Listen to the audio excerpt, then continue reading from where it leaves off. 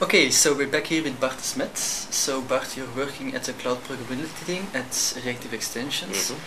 Can you tell us, uh, very short, what exactly is Reactive Extensions? Okay.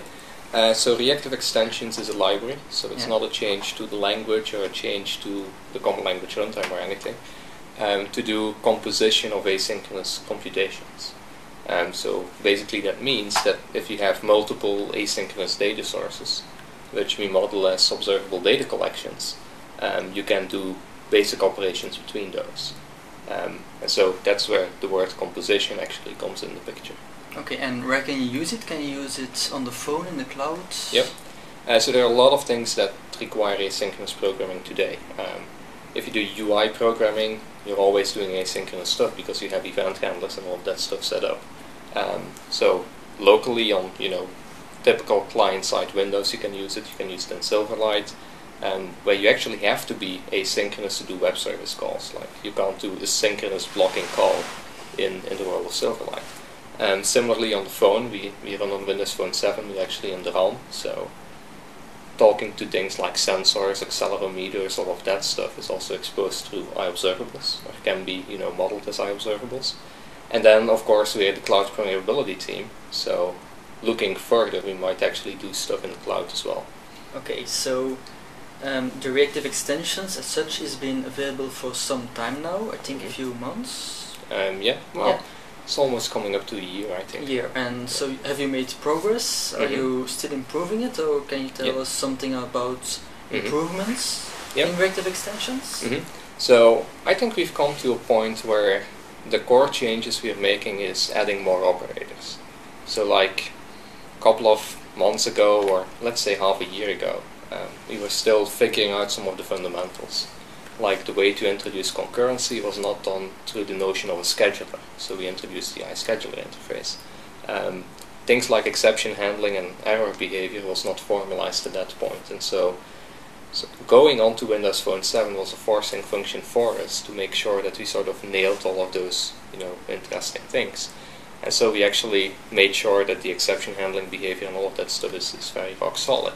And so at this point, the additional value that we're doing is creating more operators that you could sort of see as business intelligence over data streams, for example, or um, operators that you know do things that you would have to do with like 15 other operators combined, but people tend to do all of that stuff quite regularly, so we introduce more operators.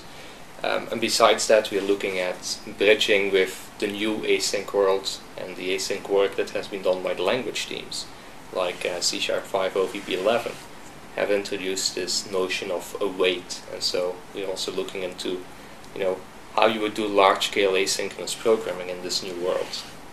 So, speaking about this new await feature Mhm. and asynchronicity in C Sharp, it will be native.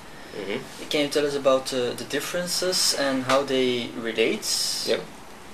Uh, so, so essentially, the await keyword is is a way to decompose your code into pieces. Um, like today, if you do asynchronous programming, like downloading something from the internet, well, you have to split your code across multiple places. Like you first have the code before you do the asynchronous call, and then you get some callback to some other place in the code that's totally unrelated, and there your code continues to execute. So what the C Sharp await feature does is sort of turn everything into a sequential algorithm that you still see the code as is intended to look, and the compiler does all those transformations for you. Um, now, one thing is that the await feature, by default, if you will, sort of binds to task of t. Now, the compiler is not tied to task of t, it just happens that that's the typical thing that people do. Now, task of t is um, single valued. Like, you know, a task of t is, is a promise or a future that somewhere in the future you will have a single value available. And so if you await a task, you basically get the value out of the task and the code continues executing. Um, in the iObservable world, things are a little bit different. It's not about sequential data access. In some sense, it's about event-based processing. Like you have multiple values coming through. And so in that world, um, we've implemented a bridge with the await feature by just implementing the await pattern. It's again a method-based pattern that the compiler generates. in our world, when you wait an iObservable, you get back an iList of the values that are received before the completion of the event source. Um, and so single versus multi-value, you know, access to data is sort of different because like task of T is a single value and I observable is multiple values. Okay, thank you. So the the reactive extensions, mm -hmm. can you give some uh, real world examples? How can mm -hmm. they be used? Yep. Are they being used already? Oh yeah, there are lots of people, you know, if you look at the forums, it has gotten quite an uptake. Uh, so lots of people are using it. I would say 50% is looking at UI programming scenarios. And typically not UI programming by itself. Like typical UI programming you can do using regular .NET events. Um, as soon as you want to combine user input with say asynchronous web service calls, well today the sum of the parts is not just the two parts. It's like, you know, lots of plumbing code that you have to inject there. Like you get user input, you go to a web service, and then you have to cancel it out if there's new user input, and it just gets very messy.